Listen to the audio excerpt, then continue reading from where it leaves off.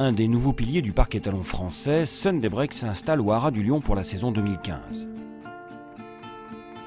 Faire venir Sunday Break, c'était répondre là à l'attente complète et la demande régulière de nos éleveurs. C'est-à-dire ramener un cheval confirmé dans les deux disciplines, niveau groupe 1.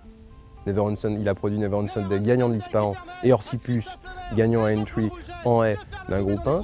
Et en même temps d'avoir un étalon qui produit euh, des chevaux qui vont aux ventes et qui se vendent très bien, appréciés des professionnels, entraîneurs, éleveurs et propriétaires.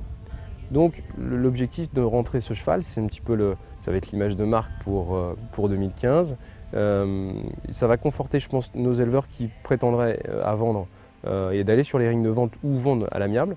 et cette année, encore une fois, ce cheval, il y a tout un, très grand intérêt parce que si on prend les statistiques Arcana d'octobre, vente de Yearling, 5 poulains euh, vendus, euh, avec une moyenne de 30 600 euros euh, concernant notre prix moyen, ce qui fait 11 fois le prix de saillie.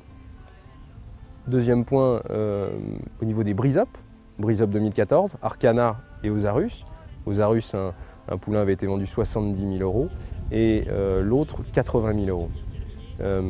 J'évoquerai un point important par rapport à ce cheval qui a été vendu 70 000 euros. Il s'agit de Master Blaster. Master Blaster semble être un, espoir pour euh, cette année 2015. Il est sous l'entraînement de Jean-Claude Rouget, s'est imposé euh, brillamment à Bordeaux et hum, j'espère que nous le verrons à un très bon niveau euh, pour cette prochaine saison.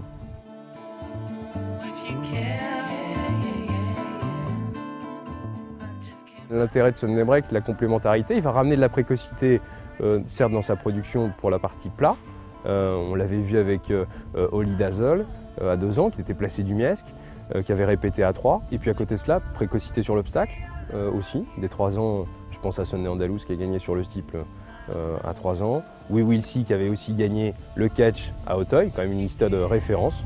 En effet, une complémentarité, un point essentiel pour nos éleveurs, répondra à un grand panel de juments. Valeur sûre tant sur les pistes qu'autour des rings, Sunday Break s'est encore illustré en 2014 en plat au niveau Black Type avec Danza Cavallo et Frankie Your Fingers.